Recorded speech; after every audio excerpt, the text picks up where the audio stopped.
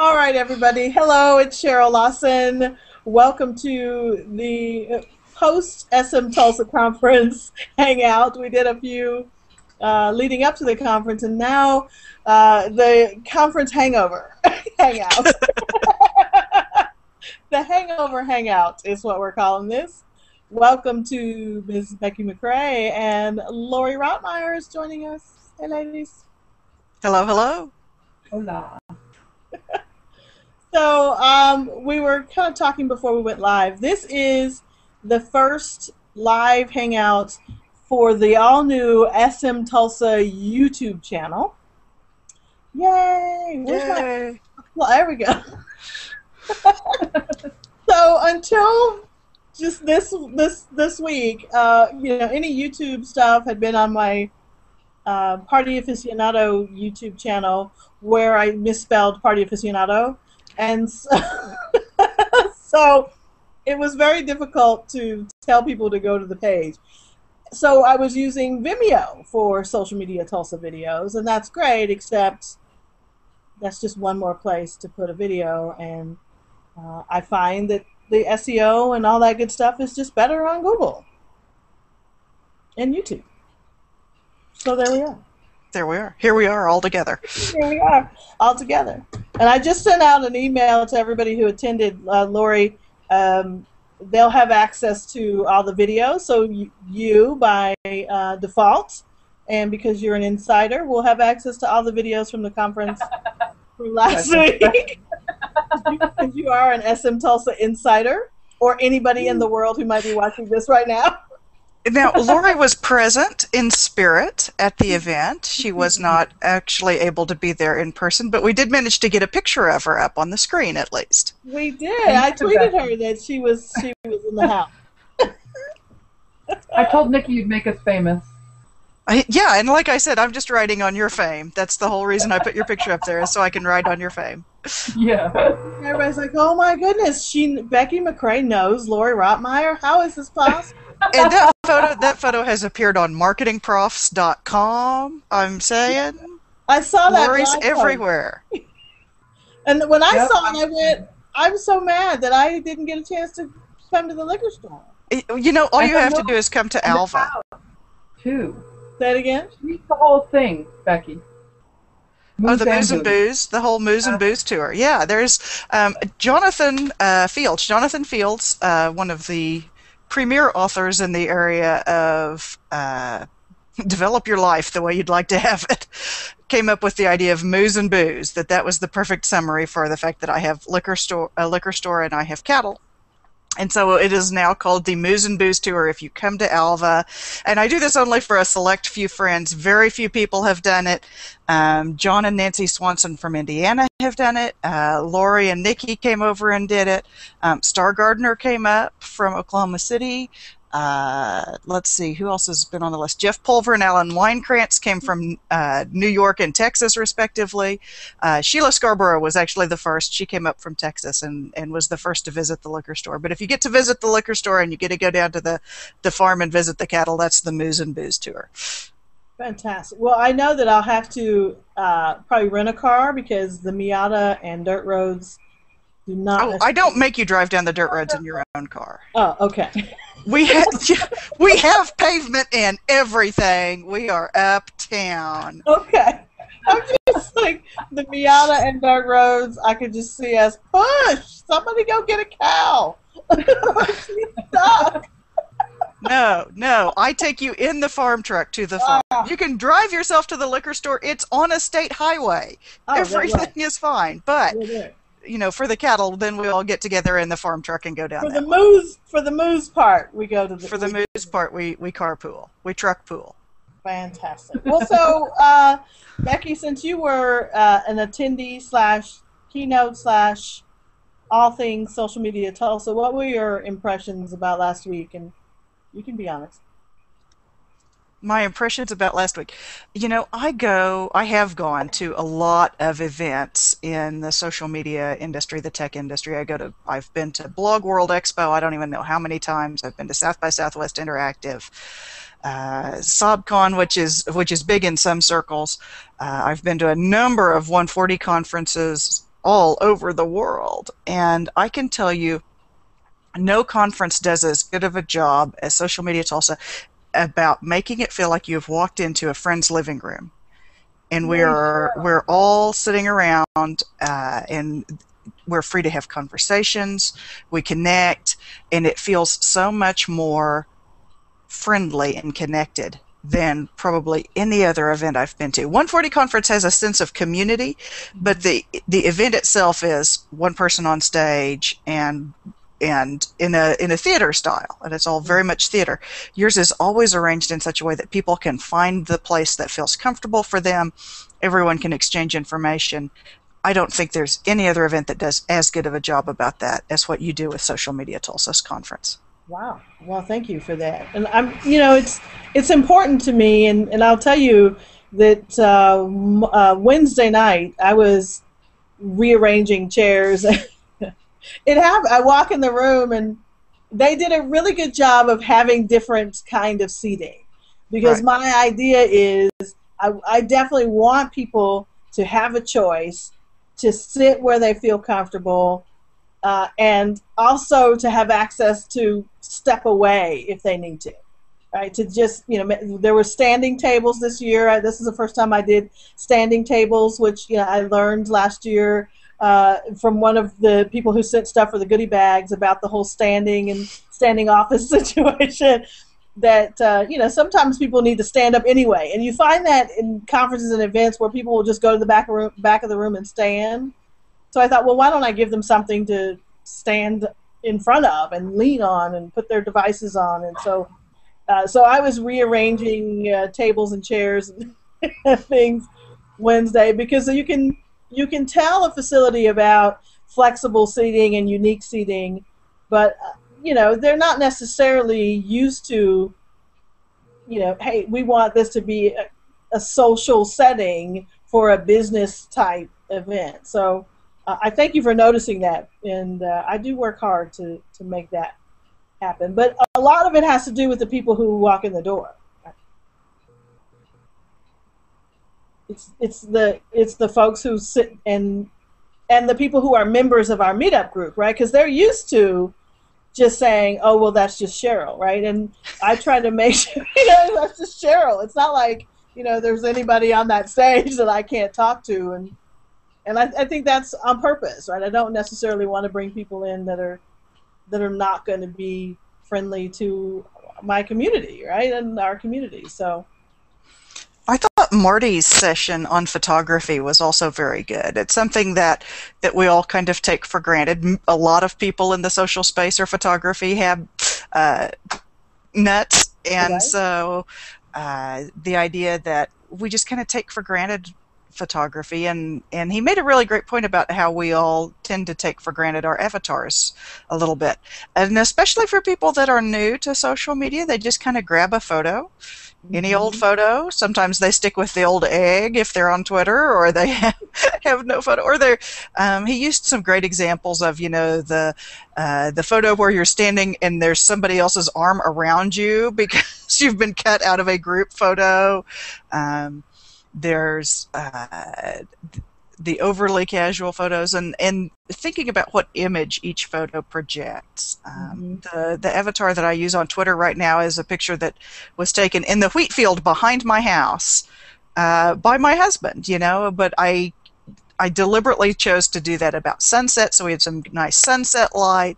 Um, I gave him the good camera to work with, and and you know did everything we could to try to make me look good. But uh, you can still you don't have to have a lot of equipment. You don't have to be great but if you if you will think about the kind of image you're trying to portray uh, and make sure that the image the photo then that you select actually is in harmony with the image you're trying to project. And i am sure that lauri will will hold us out that your image matters.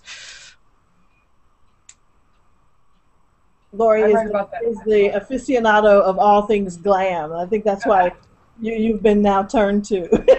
and and this her bottom third is pink and everything. Exactly. I did write about that in my book. The very same thing you were just talking about is, you know, your picture is really important because that's what your that's what people think about you. And I'll never forget the first time I went to a tweet up and I was going to introduce myself to Glennis Crawford. I said, "Hi," I'm. She's like, "Hi, Lauri, how are you?" And I was like, "Whoa, she knows me. It's important and it's cool." I get, I get a lot of the "Are you Cheryl's?" Uh, you know, out and about, especially because you know if I'm checking in on Foursquare everywhere. I was at uh, the Penthouse bar at at the Mayo prior to us being there for the conference, and this lady brings over her phone, and she's she's got Foursquare on her phone, and my picture is everywhere, and she says, "Is this you?" Busted. yeah, sorry. and uh, so it, so it's really interesting. And then you know the photos that I have on my uh, Twitter account, both Party Aficionado and SM Tulsa Cheryl, came from one photo shoot. I need, in fact, I needed a photo for the Vocus thing that they did for me, and it was kind of a highlight of um, how I had used their product. And they said, "Well, you know, can you send us a headshot?" And uh, okay. I didn't have one. And so my uh, brother's ex wife's sister is a photographer. if that's not a small town thing, I don't know what is. So, so I called her. I had a cold. Went down to her studio, and I just told her, you know, first I had to then find clothes to wear for a photo shoot, right? Uh, so, uh, well, what's your style? I went to Saks and and I said, well, my style would be, and Laura, you probably, I should have counseled you on this. I said, sort of rock star geek. Which is an entire category at Saks. and, uh, you should have seen the lady at, at uh, Saks Fifth Avenue. She was a little confused. she was like, oh, she knew Rockstar, and I think she probably had an idea about geek. But Rockstar Geek she was not real sure about. And then and, and she commenced to pulling a um, anim, a leopard print uh, little onesie, and I thought, okay, maybe I'm not communicating well enough what that is, right? She might yeah, the, the geek thing just takes the Rockstar down a notch in terms of the leopard print level. Exactly so uh, I found something to wear, and this, and and then Denise, who is a great photographer, I found out, figured out because uh, I said I wanted to be like I'm at a party, hence the party aficionado and all that stuff, and uh, she was able to figure out that the only way that I smile, other than talking, was when I laugh. So she just kept making me laugh over and over and over and she did the oh you know somebody's walking in. And i did the little pose to my chest because i do that anyway. And that that was the picture that's that stuck to for everybody. So now i'm afraid to change it because that those pictures were so good and they're everywhere. I need to change mine. You've said that though since i've since i've met you because you had the yeah. glam you had the glam no, really only since last year i really want to change it I want it to look less perfect. Like oh, you know, I have a I have this small problem with all those pictures I have that are nice and professional from two years ago now, and some of them are much older than that with the short hair, and so I I have to replace all my photos, and so there's intermediate photos in between with all those awkward growing out stages, which are lovely to have around. Um, nice reminders that my hair looks oh so nice while growing out. Um, so I have Everybody. to now that it's down to a reasonable length. I need to um, I need to get updated shots done. Um, last year I kept saying as soon as it greened up, I was going to have photos done. As soon as the farm greens up, as soon as it rains, and, and then it didn't. Happen. It didn't happen. So we didn't have any new photos last year. So next year, this year, hopefully, with my now that my hair is longer, maybe we'll get some rain and, um, and we'll, we'll have some green grass cross fingers. We did, yeah. Whatever you can do, um, yeah. We will. Um, we will hope for rain. Hope and pray for rain. Is that's been my theory so far. It hasn't been very effective, but that's what I have available to do. Time to dance, Becky. Huh? It's time to dance. Uh, rain dance. Seriously. So uh, one thing I liked about Marty's, what, what's interesting about that, and this is a little behind the scenes, and nobody kind of knew unless you were there and saw the change, but Marty was supposed to do his talk in the penthouse, and I I purposely wanted him to be in that space just because it was so unique and that people could go out on the uh, on the balcony and take photos, and that, that was because Marty's a great artist, and the Napkin Dad story is great, and we've heard it. But what a lot of people don't know is Marty's an excellent photographer as well, Definitely. and and is a member of a huge uh, photography meetup group uh, here in Tulsa. So I wanted him to showcase this side of his creativity, and we were going to have it up on the rooftop because I thought, oh, it'd be great to sh- have all these photos of the skyline and buildings, and you can see the river bed. it's not a river.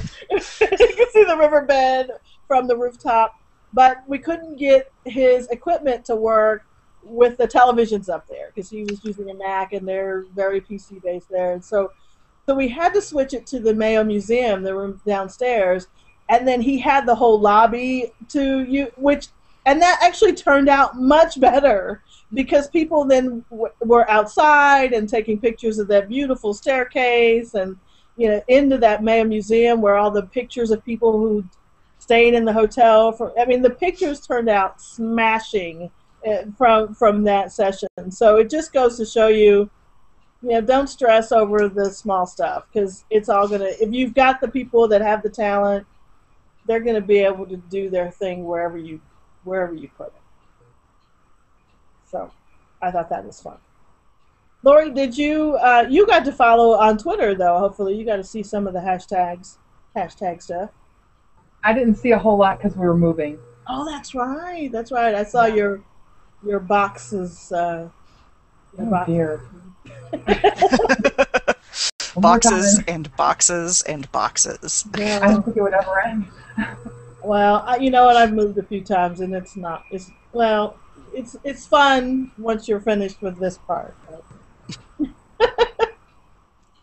All right, so uh, I can't believe you didn't mention the photos that I took of you, Cheryl. I, d- I didn't, but you know what? I have posted them everywhere because I absolutely love those. photos. I caught I caught Cheryl at one of those moments. She was standing at one of the little standing tables that she had created with her tablet there, and she's just bloody bloody blahing away there on her little tablet. And I look over and I catch her, and she's like very seriously intent in it. So I take her picture, and then she realizes I'm taking her picture.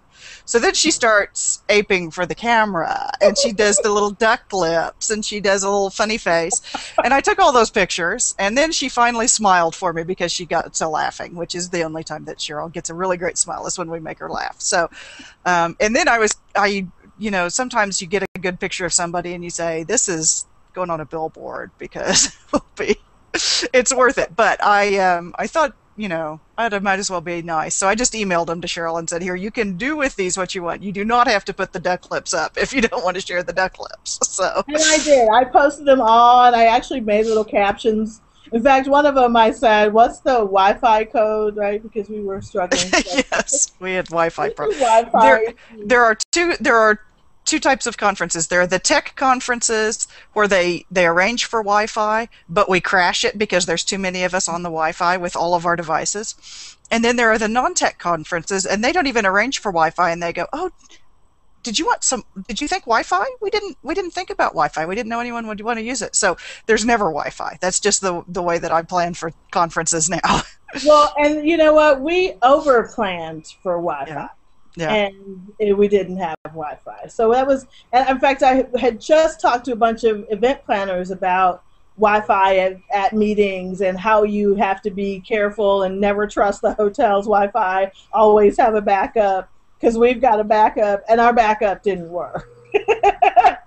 well, it didn't work fully. I mean, we did use their system to stream and and uh, so everybody so all the video stuff and all the live stream worked in their system but it was it was funny. And and then and the good thing about it was how everybody just accepted it and moved on. I mean Yeah. there were a few grumblings but th- that was really a testament to the group too. It's like hey stuff happens. And i think it was great to see the you know the verizon rep just really working her butt off to, to figure it out I mean that you know had they not been there doing that, who, who knows what the tweets would have been. But uh, I think it shows when people see, hey, there's effort here, people are doing the best they can.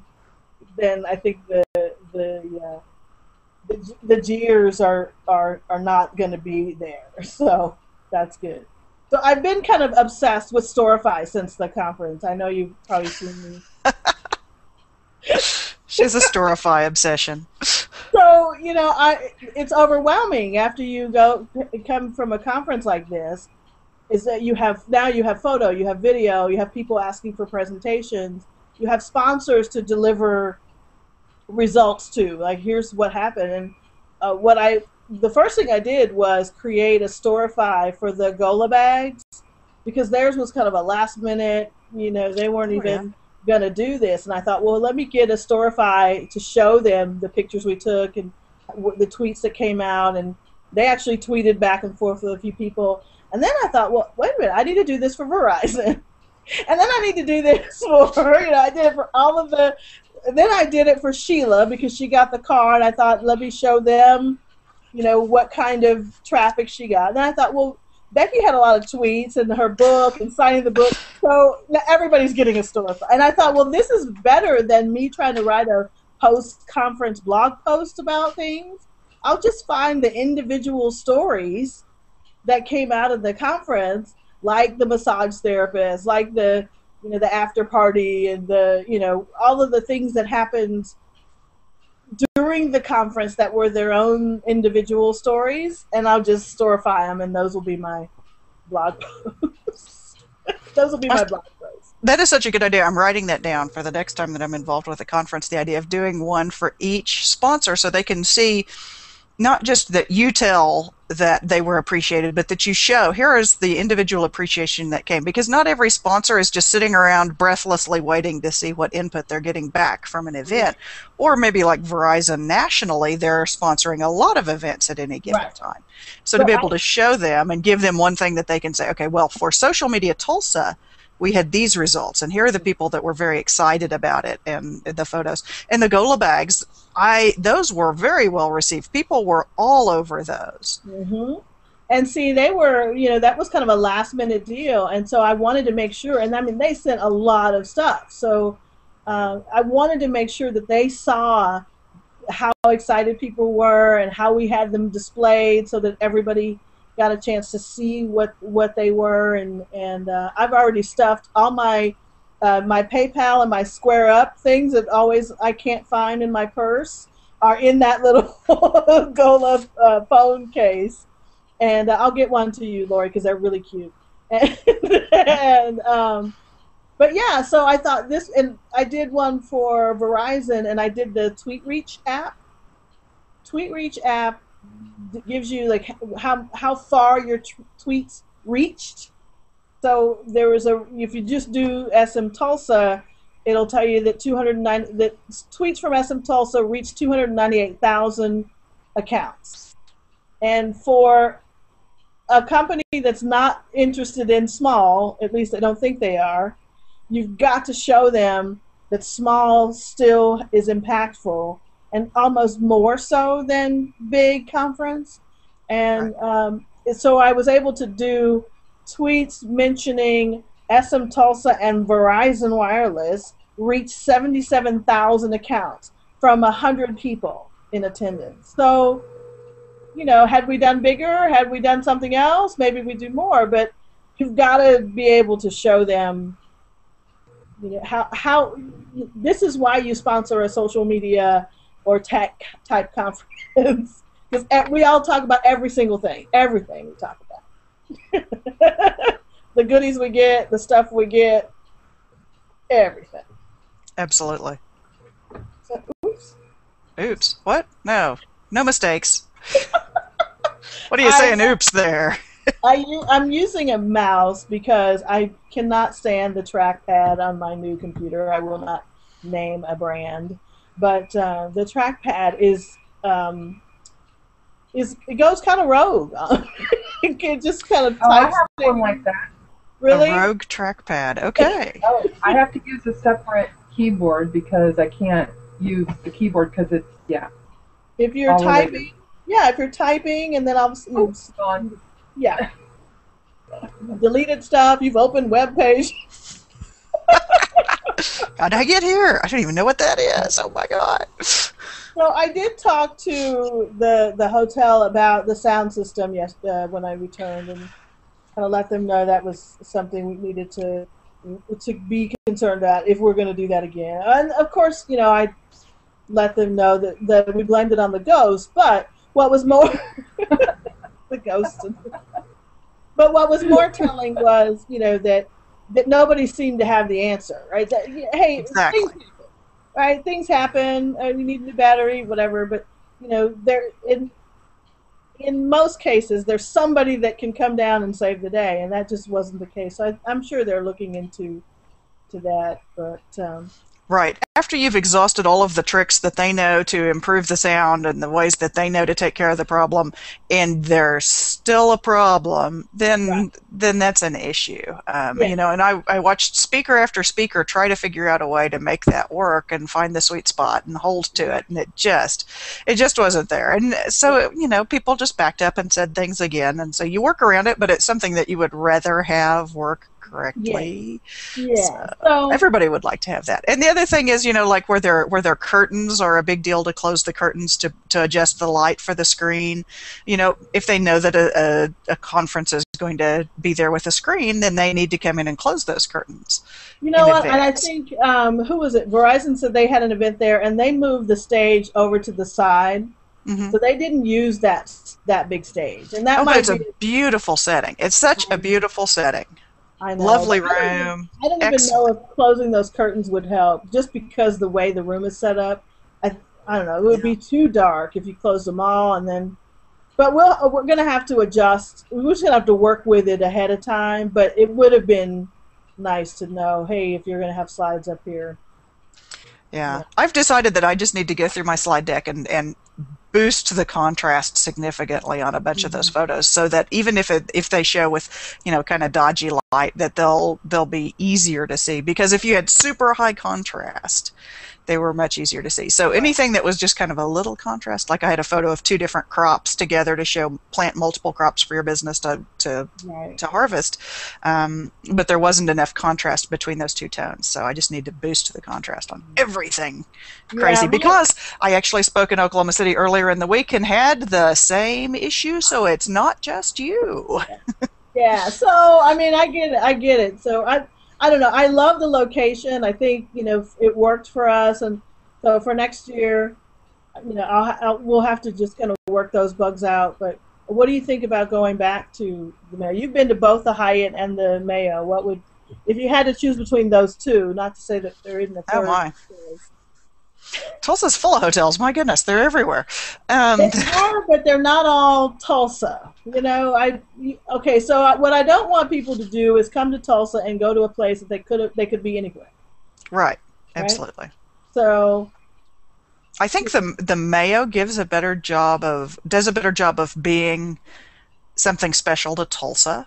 Mm-hmm. Um, I think that both of them had a a a welcoming attitude that was very good. That both of them seemed pleased to have the event there, um, and I think that that matters. I think that matters. Um, I'm trying to remember. I remember the Great Fire Drill last year, and I remember, but I don't remember any problems with the facility. I remember I'm I'm trying to think if there was anything about the the facility that was a problem or that was a you know well maybe a little bit better, but they both I think they did equally well. You know, mm-hmm. neither one of them was like oh my god we have to go back there. Right. Uh, but I think that they both have done a fairly good job. They really have. I mean, it's a tough thing to try to you know you're already trying to run a hotel day to day, and then we have you know crazy rock star geeks who think that they need, you know, special rock star geek treatment, and that can be an issue. Exactly. and, and how many people told, you know, we're tweeting that the Mayo should be tweeting more? And I, I got a handwritten note today saying that they that they are going to work on it. Thank we don't want a handwritten note. We want a tweet. That's all I we know. want. It's just a tweet that says, "Gosh, it was great to have social media Tulsa in the house." Uh, That's I it. It's not hard. Notes that were very personal and mentions Twitter specifically. One in my room saying, "Have fun tweeting," and then one today, and I thought, okay, we got. Do, trying. They're they're trying to work up to it. Some people need to build up some courage to put that forward. So you know, and I actually have I have my card from the Mayo right here. This is okay. this is from Shelby. Uh, so I thought I would drop Shelby a little note and say that I, I enjoyed the hotel. Thought the room was very nice. They have the best sheets of any hotel I've been in in a long time. Lovely. Um, thought they had lovely sheets, um, nice rooms, and how much we appreciated their hospitality in that beautiful ballroom. That ballroom is just lovely. They've done a great job of putting it into. Uh, make it a place that you'd like to go and sit for a meeting because it feels with those windows on both sides I mean, that's one of the things that really helps it be not, you know, we're locked in this windowless conference room where everyone will be tormented by hours of, you know, death by PowerPoint. And instead, it's bright and open, and you have some connection to the outside. Uh, and then, of course, you you insist that all the speakers not do death by PowerPoint. So Right, right. everybody has to do a good job. And so Mm, those two things together make a difference. It's interesting. We saw a couple of, uh, I think, two or three Prezi presentations this year, Mhm. Which was very interesting. I, you know, I've tried Prezi before. I, it's just too much for me to. It's almost. It always feels like I'm learning as I go, even though I've used it a few times. It always feels like I'm. I'm just kind of playing with it. So I. I think the people who used it did a great job uh, using Prezi. So I'll, I'll Right. have to. I haven't found a, a good topic where I think that the Prezi itself will add to the meaning and enhance people's ability to learn or connect with the information. I always, at every topic I've looked at doing with it, it has felt more like it's going to be a distraction or it's going to pull people out of the information instead of helping them get into it. If when I find the right topic that's got the right visuals, I think I'll I'll be interested in doing it again. But um, the other thing is my brain is is linear. My brain Mhm. goes in order Mhm. and or it goes this way if you are looking at reversed video. And so for me to to zoom around doesn't work as well with my brain. It's for sheila or like mandy vavrinak for sheila scarborough or mandy vavrinak i think both of them you know their brain goes in a bunch of directions at the same time. And so prezi suits their brain style better. But you know i organize things you know one two three four five. Um, and so prezi always feels like it's going to be more of a barrier than something that enhances the, the topic. But uh, someday I'll find the right topic. Yeah, I have a little self-diagnosed ADHD, and so Prezi does not work.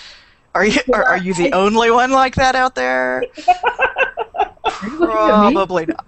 Probably not. But I tend to, with Prezi, I tend to overload it with, oh, if this happens, we'll talk about this, and oh, if this happens, we'll go here, and I get distracted with, you know, closing it down, looking, swinging through. Yeah, I get it. You know, swinging through to find the thing that I posted on the pay on a section. So uh, during a workshop, I did a two-day workshop for a business, and it was a small deal, and I could use Prezi to kind of flip back and forth to points that I wanted to make.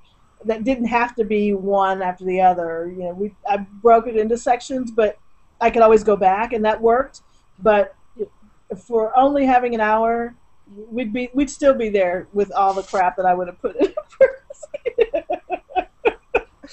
I wonder if it would work maybe best as a like an overview map that you could lay out and say we're going to cover these five or ten topics and draw them out on Prezi and say, you know, we can go in whatever order and and to allow it to be that more freeform and everybody can see the big picture then and then you can zoom in and do each Ah, individual yeah. topic and zoom back out.